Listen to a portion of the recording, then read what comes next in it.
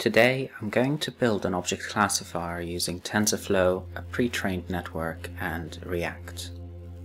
First I created a folder to work in. I will call this mood with three O's to emphasize the startupness of it all. I then created a node project with npm init uh, as in initialize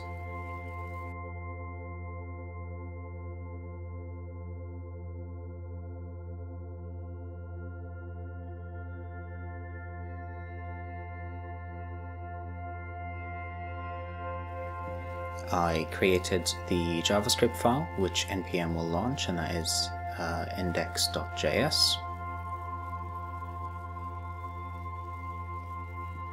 I can now bring in some tools that will help me along the way. I know that my backend application will need to listen into a bunch of HTTP requests, so I added Express.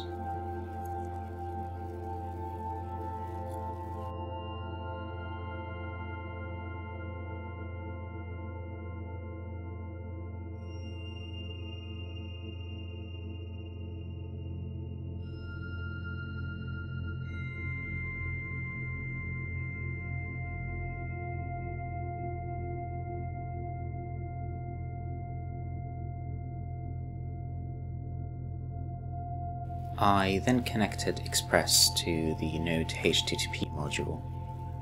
This will allow Express to act on behalf of Node in terms of listening in to HTTP requests and responding to them.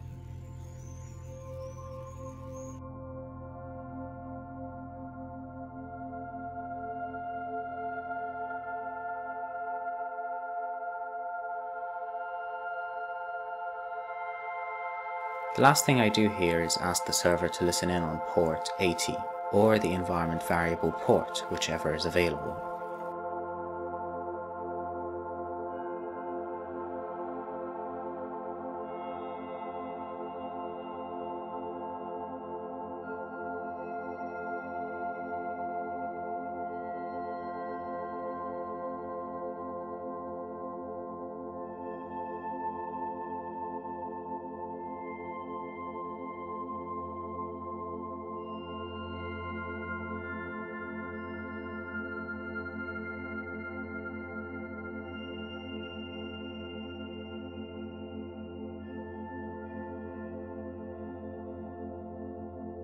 I'm also bringing in TensorFlow.js to do all the heavy lifting. I'm importing TensorFlow TF.js and TensorFlow TF.js node, uh, which is TensorFlow core for JavaScript.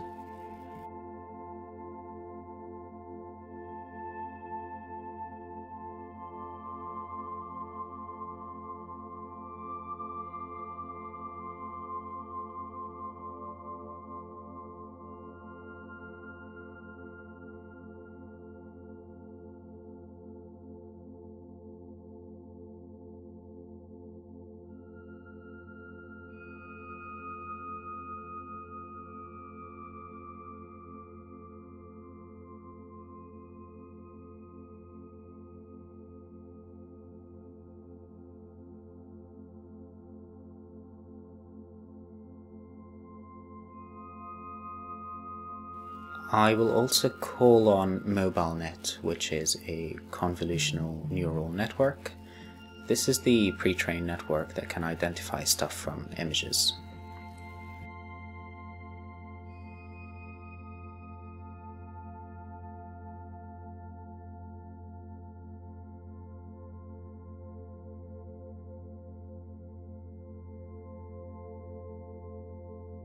Formidable, Body Parser and FS enable me to deal with uploads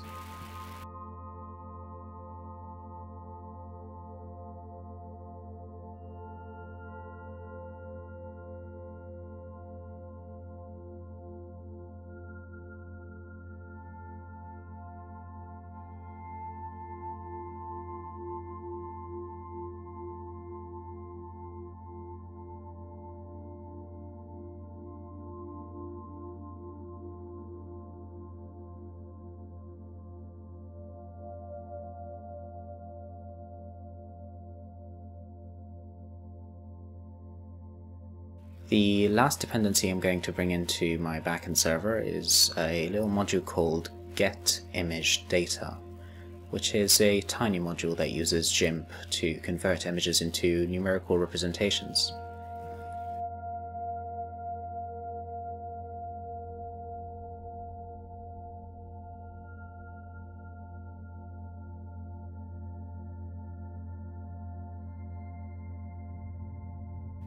I'm now ready to add an API endpoint with Express, which the React application is going to be able to fire requests to. The first endpoint that we're going to add is going to be app.post image, uh, and that's going to allow the user to upload an image to the backend, which we are going to pick up and process using Formidable.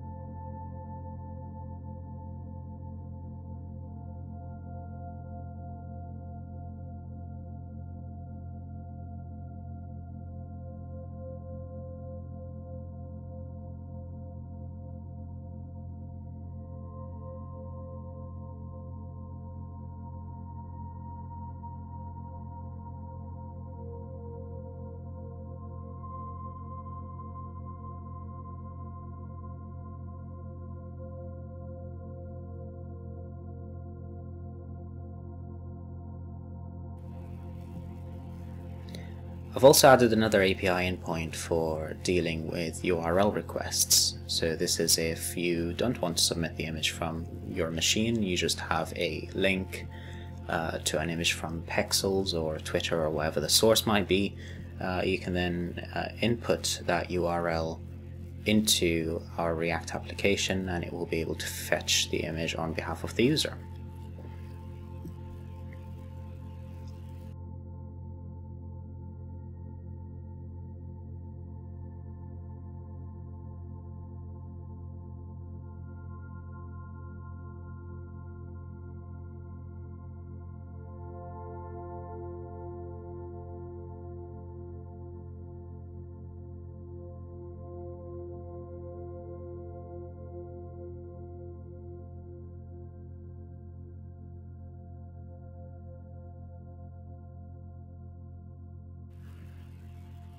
Now that that's done, I can turn my attention to writing a little function that's going to examine the image from the URL and return its classification. I call this function what is this and it's going to take a URL as its input and it's going to return a promise.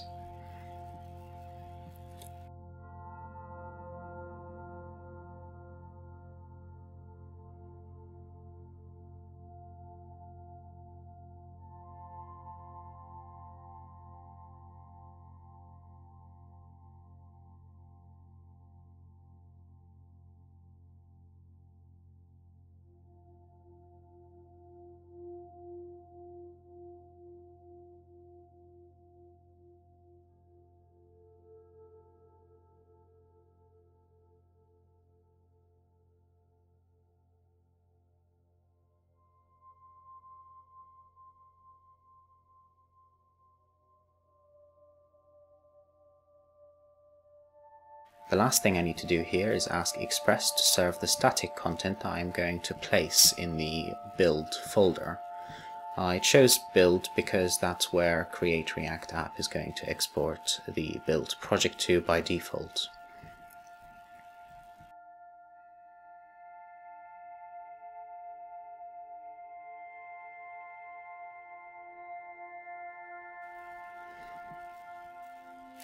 Before moving any further, I can now test my endpoints with a REST client like Insomnia or Postman to check that everything is as it should be.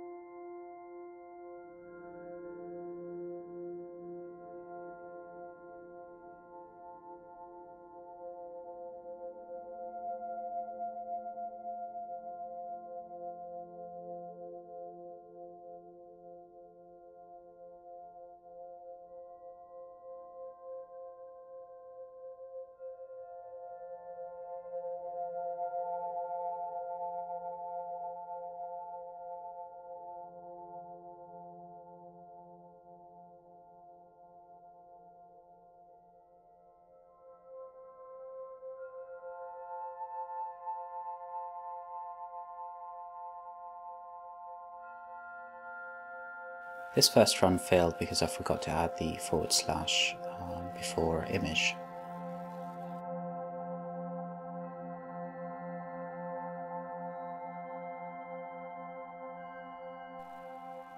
The next problem I encounter is that Insomnia is sending the file with the data tag of image rather than upload, whereas my code is expecting upload, so I can go ahead and fix that now.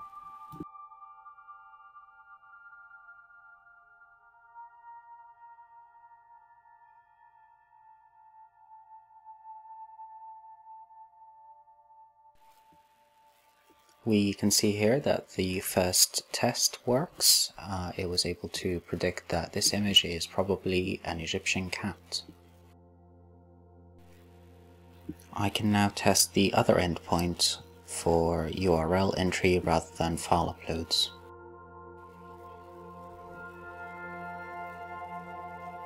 I can now turn my attention to the front end.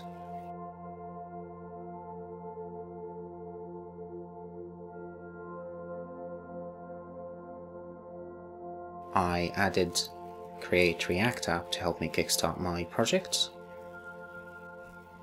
And I created a React application called client.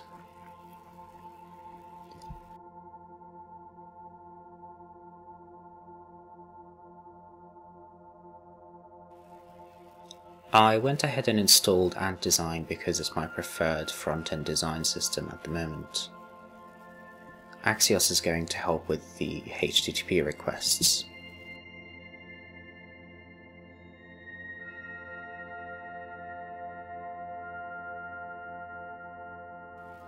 In app.js, uh, I can go ahead and start building my web page.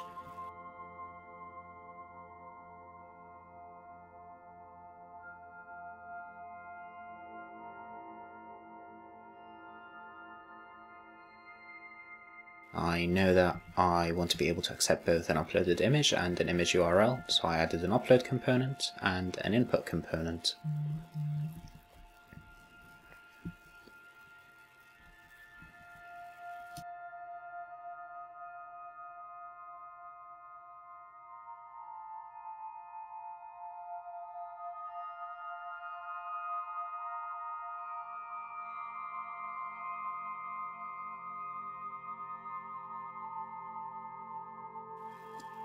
It was now time to try and build my application.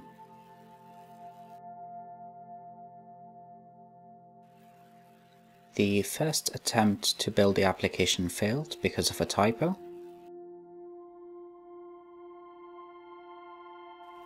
And then it failed again because of the same typo somewhere else.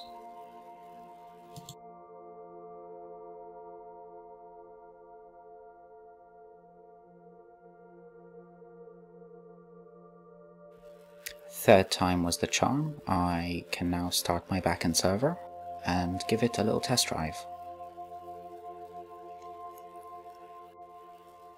This is a good start. I can see that it was able to successfully identify a balloon from an image of a balloon.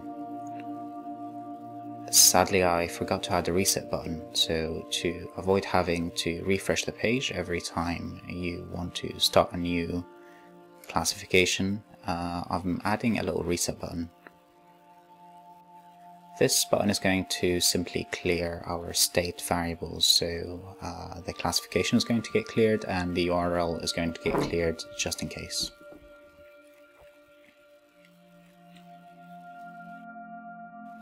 Time to rebuild the React application one last time.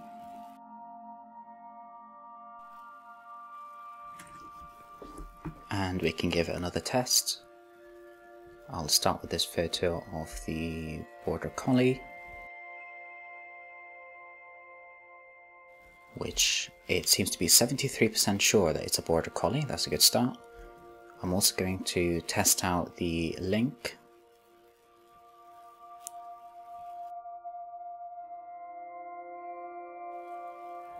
which it is able to identify as being jellyfish.